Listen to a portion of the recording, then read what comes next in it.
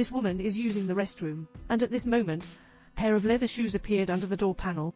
Obviously, there is a man standing outside the door. The woman warned him, this is the women's restroom.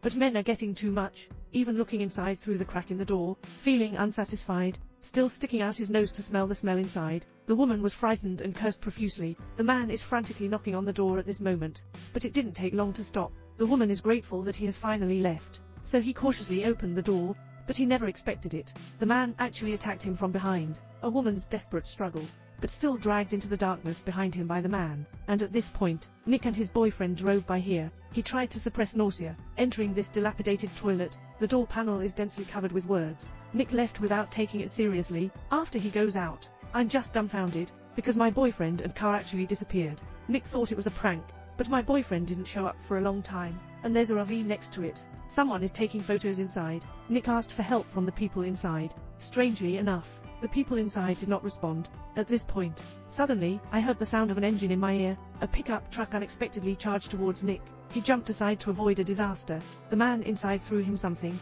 Nick pick it up and take a look. It's actually my boyfriend's phone. But the battery has already been removed. Nick understands come on. The man in this car kidnapped his boyfriend.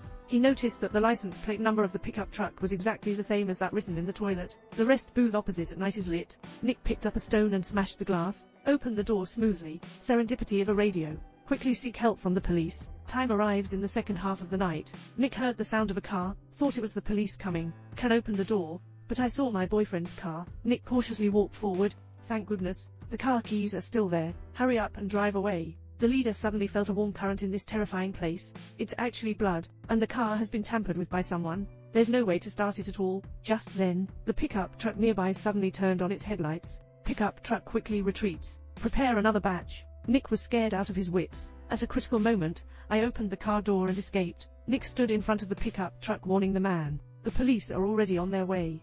But the other party didn't panic at all. At this moment, the horn on the car actually played Nick's conversation with the police. Originally, all of this was designed by a man, and her daughter unexpectedly discovered a RV in the wilderness. He hurried forward to seek help, just when he thought he was saved. But I didn't know he was falling into another abyss again. Not long after getting on the car, the girl noticed that the family's mental state was also a bit abnormal. Women always say strange things in their mouths. Not only that, but also, his family members all have a very strange appearance. But then the girl found out, it seems like there's still someone hidden. My daughter suspects that it could be her missing boyfriend Nick, who rushed over, pulled open the curtain, but it turned out to be a mouth inside, a deformed child with a short face and stature. But Nick caused a lot of anger. The woman shouted insults at her. He insisted on driving him out of the car. Nick found something new when he returned to the restroom. The door panel is covered several layers. No matter which floor is filled with distress messages, and the time span is still very long. This means that pickup men have always had fun tormenting people, playing cat and mouse games with women, until he dies. He hunts his next target again. At this moment, I suddenly heard a woman's cry for help. Open the warehouse door by a crack. There's actually Ziokai locked inside. He told Nick that a V is a pickup truck man's. He suffered inhumane torture there. At this moment, the pickup man unexpectedly returned. Nicole took off a door panel, stuck under the door handle. The pickup man knocked the iron door into the basket. Basket sound. What's even more disgusting is that the pickup man stretched his nose to smell the smell inside. Not for a while. He just left. Ziku's condition is also getting worse and worse. Nicole wants to save little Sway. He ran into the car and picked up an iron rod.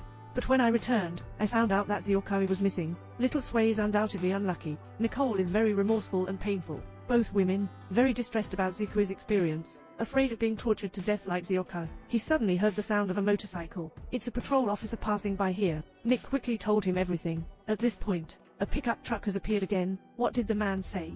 The patrol actually let him go. Nick, come out quickly and stop him. But it's still one step too late. Pickup man driving into a patrol officer, ran over his leg. Patrol lying on the ground unable to move. The pickup truck is backing up again.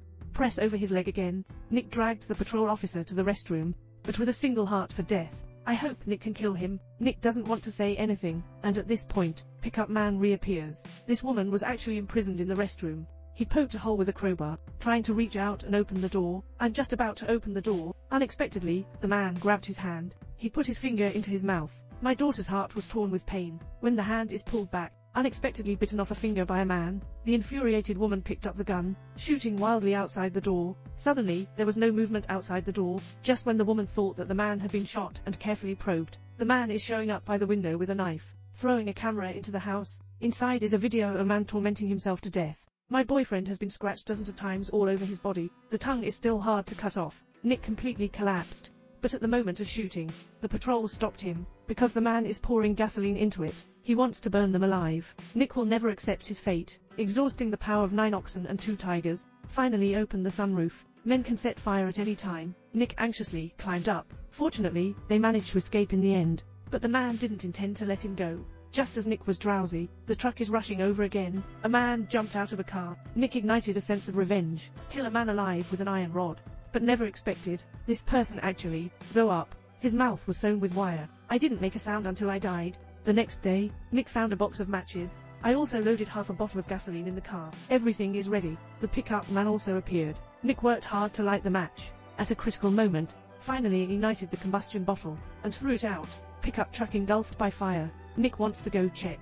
I didn't expect the cab to be empty. Wait for Nick to turn around. The man is already standing behind him. Not long after, rest station rollover, Nichols' notice was posted near the telephone booth. The movie ends. A classic plasma tablet, but the movie didn't reveal the man's identity until the end. Looking forward to finding the answer in the second part.